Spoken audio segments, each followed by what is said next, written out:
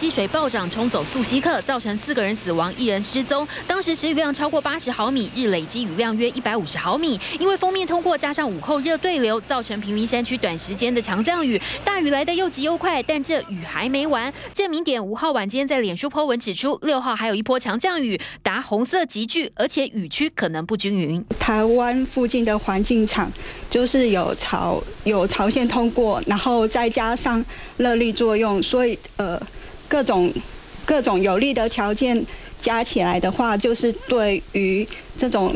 热对流发展就比较剧烈。气象局也针对云林以北到大台北地区共十六县市发布大雨特报。午后宜兰南投及嘉义以南山区也有局部大雨，周二雨势才会趋缓。从八号一直到十二号，也就是接近端午假期这一段时间，整个台湾附近的西南风逐渐的增强。那增强的情况就会把南边的水汽带上来，所以。各地的降雨几率是提高的。到了周三，西南风增强，水汽多，各地有雨。迎风面的西半部雨势明显，而且午后降雨范围会更大。端午节四天连续假期也会是湿哒哒的下雨天。记者卢一红台北报道。